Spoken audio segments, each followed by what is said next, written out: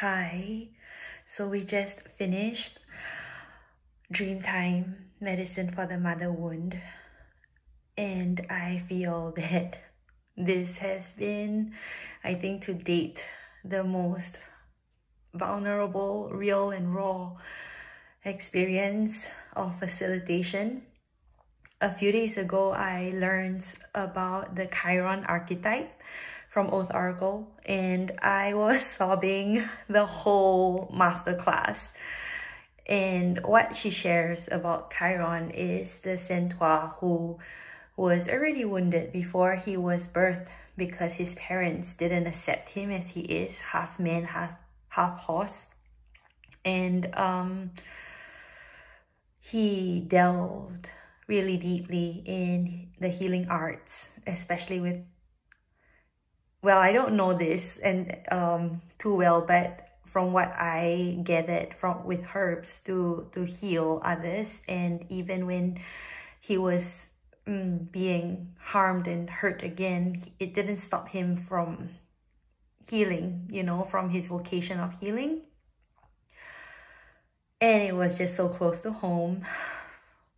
Um, I learned that also that Chiron is best healed um, along with our own healing journey when we are supporting and guiding the healing of others. And I didn't connect to this before, but I am now, like being in the quantum womb space and also um, being in my on my personal journey with healing mm, the mother wound, mother hunger, has given me so much insight about why this work is so close to my heart and um,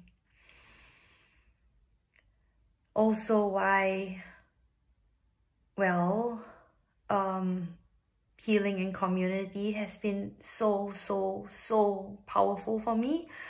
Um, I remember the time in the sweat lodge when I wanted to leave because it was just too much for me to stay because I was so petrified. Um, and the second time that I was in there, everyone, like the group was, like the energies of the group and the emotions of the group was really running high. And because it was my second time and because I made the conscious decision, I'm not going to run away. I'm going to meet my fear and I'm going to see myself through the fear. There was a sudden moment whereby I was able to steady myself, to feel spirit moving through my spine, and I was able to hold space through the technology of Akasma Quantum Energy and in that moment, it was peace. Even though it was chaos outside, it was peace inside. And the there was no fear. There was no fear. And it felt like because I was intentionally holding space for the people who I'm, I'm journeying with.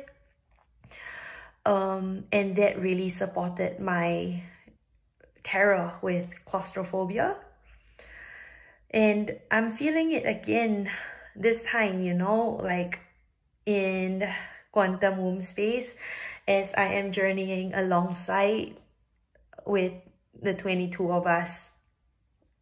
Mm, doing the daily soul work and being in such deep relationship with little Steph. Uh, along with the other inner and real mummies in the group it has been so powerful, the journey of walking each other back to love. And I think that was what really came through earlier in Dreamtime, whereby we were resourcing the love that we already have and the love we have been pouring into ourselves over the past maybe 16 days and offering it back to our mothers and our mother's mothers, our ancestors of the maternal line. Um, and there was something there that was so deeply potent as well as pouring forth to our inner child. And then there was this um, video that I watched yesterday about how we are all our own angels that I resonate so deeply with because we have really been the ones that we have been waiting for.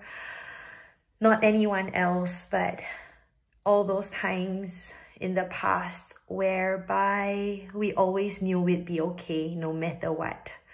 Um, all those times where we felt that strength to pull us through, even if we are throwing temper tantrums at the world,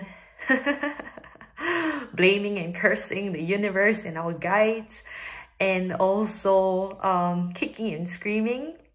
We've always made it out alive. I strongly believe it's because somewhere down the road, we decided to go back in time to offer ourselves then the strength, the perseverance, and the resilience to pull through that dark night of the soul. And I feel this is what the past 16 days has been like for me and maybe for the other women in the group. But now I'm really connecting with the potency and power of community I have connected to it, to this feeling multiple times, especially when I was uh, working in community at Lululemon. And then being in one-to-one -one space for a long time, like the past three years, I have forgotten how potent when it can be when a group comes together with the similar with a similar purpose intention or desire um especially with regards to remembering who we are and coming into the mm, ownership and also like um, the reclamation of our power, taking it back. There is something so deeply, deeply powerful in the group's intention. And I think this is really moving me uh, in that direction so I've been toying with a couple of ideas. Um, and something that feels so strongly is to create a group container of somatics, magic, earth magic, body magic, depth psychology, dream work, um, mythology, all things that I'm crazy about and sharing it in, in womb space in maybe nine months. Um, yeah, so that's just something that's on my mind. And if it may be something that interests you as well, please reach out and we can ideate together. We can brainstorm about what could be possible.